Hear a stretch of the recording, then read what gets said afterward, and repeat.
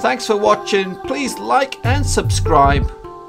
New videos posted every week. Feel free to check out some of my other work.